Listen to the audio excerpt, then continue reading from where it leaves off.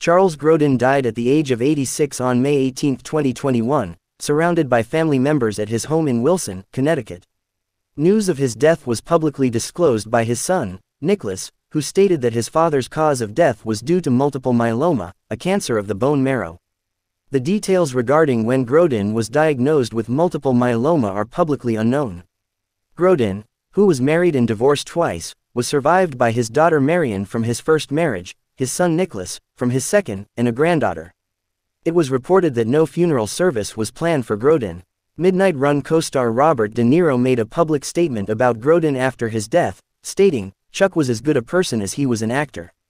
Midnight Run was a great project to work on, and Chuck made it an even better one. He will be missed. I am very, very sad to hear of his passing. Steve Martin, who co-starred with Charles Grodin in the 1984 film titled, The Lonely Guy, stated about Grodin on Twitter in reaction to his death, saying, so sad to hear. One of the funniest people I ever met.